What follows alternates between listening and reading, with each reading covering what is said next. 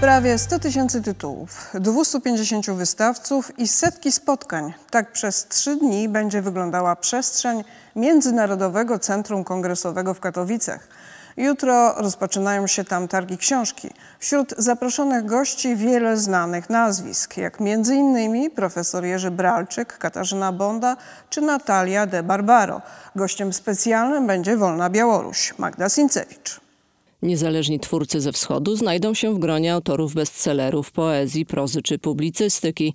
Każdy z odwiedzających będzie miał szansę wziąć udział w dyskusji o literaturze czy spotkaniu panelowym. Tam naprawdę każdy znajdzie coś dla siebie. Ja serdecznie zachęcam wszystkich, w szczególności rodziców, do przyjścia z najmłodszymi. Niech zobaczą najmłodsi, że my sami sięgamy po książkę, że ją chociaż oglądamy, że ją przeglądamy, że nas to interesuje. To jest szansa na to, żeby zaszczepić wśród najmłodszego pokolenia miłość do czytania. Bo czym skorupka za młodu? Nie będziemy im czytać, to nie będą wiedzieć, co się dzieje.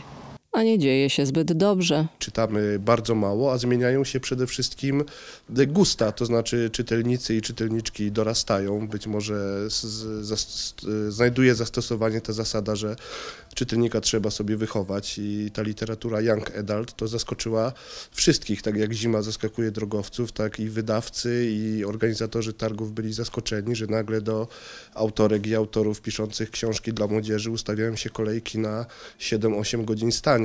Jak długo potrwa ta moda, tego nikt nie jest w stanie przewidzieć. To jest fenomen, ale to oczywiście cieszy, bo, bo fakt, te, że, że od tych młodych lat te przyzwyczajenia do sięgania po książkę, do czytania e, znowu, e, że tak powiem, o, pojawiły się w, w, w naszym młodym społeczeństwie, to oczywiście dobry prognostyk, że za kilka lat nam urośnie generalnie to czytelnictwo. Bo przecież ciekawa książka to dobry towarzysz nie tylko na spokojny jesienny wieczór, ale i cały rok.